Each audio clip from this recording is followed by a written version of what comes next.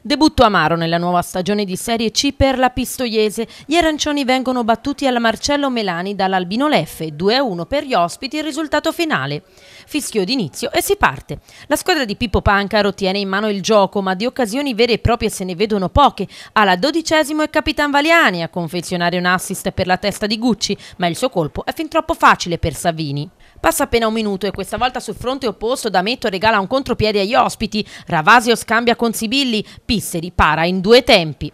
Alla ventiduesimo ecco il vantaggio dell'Albino Leffe, Ravasio dal limite aria con il sinistro in diagonale sigla il gol dell'1-0 per gli ospiti.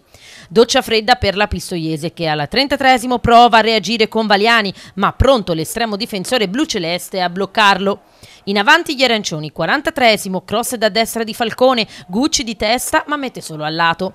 Il raddoppio degli uomini di Zaffaroni arriva al 45esimo, D'Ametto perde palla sulla tre quarti, ne approfittano i Lombardi, tiro di Sibilli, Pisseri respinge. Ma sugli sviluppi dell'azione cross in area di rigore su cui interviene Giorgione, in mezzo a quattro arancioni e di testa mette la palla in rete per il 2-0 che sancisce di fatto la fine del primo tempo.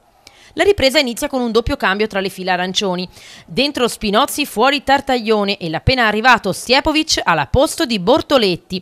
Da un 3-5-2 si passa così ad un 3-4-3. In campo cambia poco, la Pistoiese ha qualche difficoltà evidente nella costruzione del gioco e nella finalizzazione. Il montenegrino ci prova in un paio di occasioni, ma più rumore lo fa Bordin vicino al settantesimo quando sfiora il palo.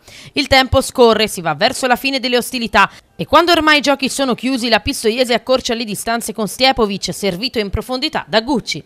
Troppo tardi per poter riuscire ad agguantare almeno un punticino, vittoria meritata quella dell'Albino Leffe, squadra apparsa sicuramente più completa rispetto a quella arancione, ancora in costruzione, con l'attesa di altri due o tre elementi che possano dare una fisionomia più solida alla formazione di Pancaro. Chissà, magari già domenica prossima Crema contro la Pergolettese, la Pistoiese potrebbe arrivarci più attrezzata.